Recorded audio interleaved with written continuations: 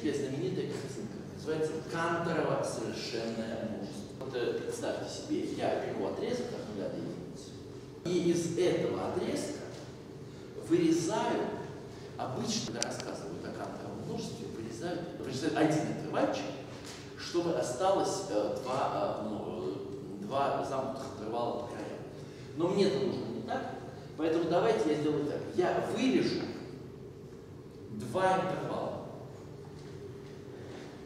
Ну, самое простое, разбить отрезок на 5 равных частей. Я почему-то взял их маленькими, на самом деле совершенно не обязательно. Э, Для красоты можно было сделать так. Разбить отрезок на 5 равных частей и выбросить вот эти два интервала. Договориться, что, по- что числа, у которых остаток 0, будем изображать вот здесь. У которых остаток 1 при на 3 будем здесь, у которых остаток 2 будем здесь. После этого каждый из этих оставшихся отрезков делим на 5 равных частей. Опять из них выбрасываем два вот таких. Ну, наверное, все. И так далее, и так далее, и так, до бесконечности.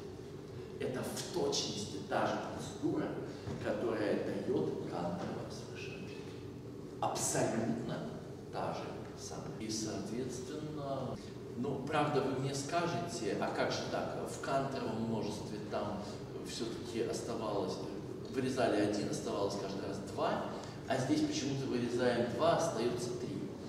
Ну, ребята, вот давайте я вам нарисую стандартную процедуру построения Кантового множества, и, наверное, сразу все станет понятно. Вот есть отрезок от нуля до единицы, э, классическое построение заключается в. Делим его на три равные части, э, и дальше центральную выбрасываем. Дальше каждый из этих интервалов делим на три равные части, центральную выбрасываем. Замечательно. А я возьму и не буду это пока делать э, слева, а выброшу здесь. Тогда смотрите, остались три замкнутых отрезка. Но это не соответствует тому, что там происходило. У остались три замкнутых отрезка. Какие длины, это не так уж важно. В общем, с точки зрения топологии, для любого простого числа p множество целых периодических чисел образует вот то, что называют Канторово совершенное множество. Интересно это нам будет, пожалуй, вот с какой точки зрения. Э, Канторово совершенное множество – это компакт.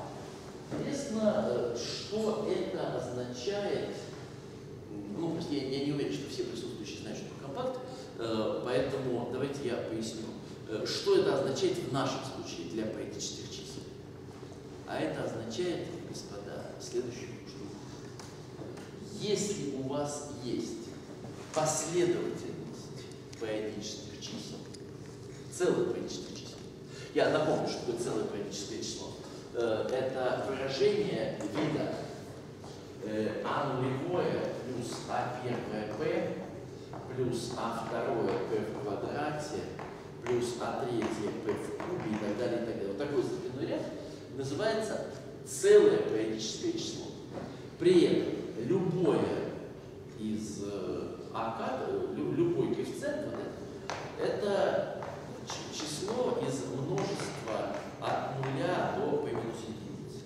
Любой берете, и у нас э, э, на любом месте выбираете любой.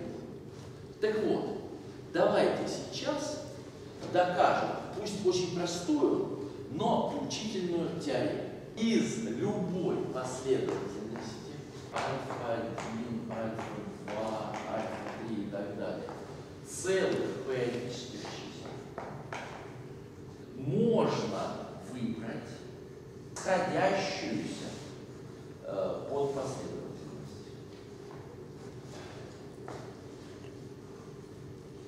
Из любой последовательности периодических чисел можно выбрать сходящуюся под последовательность.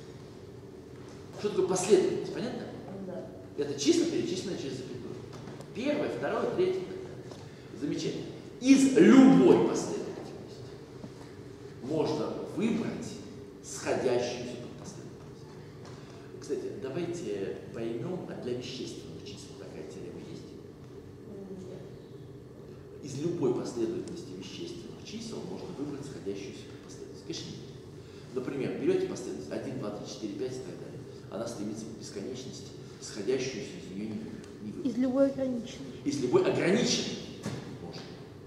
Если у нас есть последовательность точек отрезка, например, отрезок, ставим там, от 0 до 2017, такой отрезок.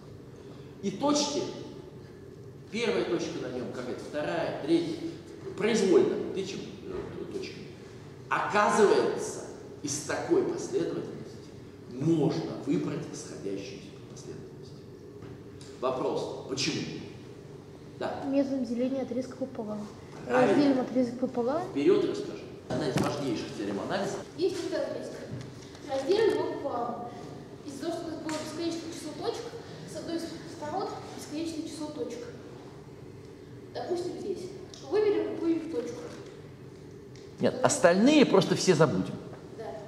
Да. Ну, опять разделим его пополам. Из оставшихся в одной из этих половин будет бесконечно много. Да, дальше что будет? И так далее. И так далее. Дальше что Будем будет? делить. Да. Так мы получим э, двоичную запись числа. Ну, это если отрезок был 0,1. Да.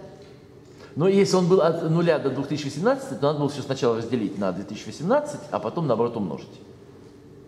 Разумно? Все, спасибо. Давайте я повторю поле на обсуждение. Есть, что называется, левая половинка, есть правая. Не может быть так, что и в левой половине, и в правой конечное число точек. Поэтому в одной из этих половин будет бесконечно много членов последовательности. Отлично. Все, которые в правой половине мы вычеркнем, в результате последовательность осталась бесконечная, но при этом э, она вся содержится в одной из этих половин, например, левой. Замечательно, взяли эту половину. Все-таки одну точку зафиксировали, чтобы последовательность строилась. После этого разделили ее на две половины. Разделили на две половины. Опять в одной из этих половин бесконечно много, значит, остальное выбросили, взяли еще одну, еще следующую и так далее. И таким образом мы действительно получаем, что у нас вот этот отрезок уменьшается. Ну и получится скорее А теперь внимательно посмотрите и поймите, что для поэтических чисел рассуждение строго. Можно посмотреть, как, э, какие числа начинаются, если в записи оно равно 0, или одному, или второму, или p минус 1, вот какой из них. В роли тех вот отрезочков, которые мы пополам делили, идет остаток отделения на p. Да. И мы попросту говорим, что остатков отделения на p конечное число. Значит, когда у нас есть бесконечная последовательность, либо с остатком 0, либо с остатком 1, либо с остатком 2 и так далее, либо с остатком p минус 1, но одного из этих вариантов будет бесконечное число штук. В таком случае все остальные мы выбрасываем, а оставляем только с этим остатком. Понятно? И у нас уже стабилизировался остаток отделения на p. После этого мы смотрим остаток отделения на p квадрат. Их опять конечное число штук, и поэтому опять можно все, кроме какого-то одного, отбросить. И последовательность останется бесконечной. Ну и так далее.